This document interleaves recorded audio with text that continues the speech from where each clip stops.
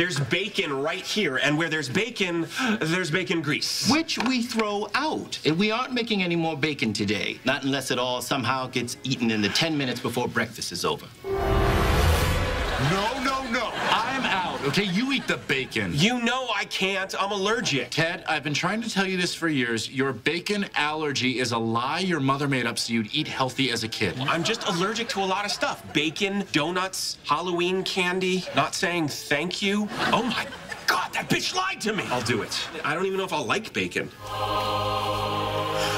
I have seen the face of God. How could you, Mom? You had the map to heaven and you never showed me the way. They uh, crisp it up real nice here, don't they? You've been going at it real hard. Why don't you take a breather and I'll drive us home?